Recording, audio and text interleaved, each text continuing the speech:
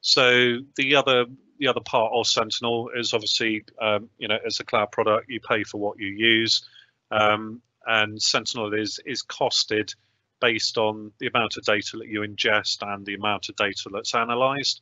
Um, as I say, there is some um, data sources which are free, so things like Azure Activity Log, Azure Active Directory, um, you know, basically the, the data that Microsoft already holds within their cloud. Um, most of that is um, free to ingest into Sentinel. Um, things like third-party connectors into, um, you know, firewall products or, or uh, VMware ESXi hosts, things like that will be chargeable for ingestion and analysis.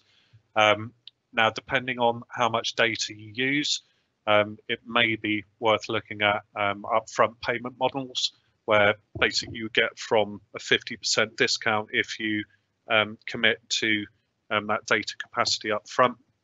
Um, so there's some examples there.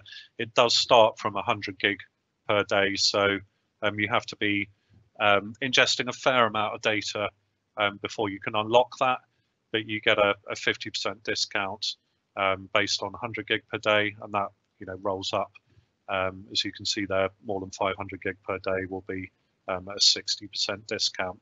So depending on the amount of data that you end up um, ingesting and analyzing, that's definitely something um, for consideration and a way that you could um, reduce costs.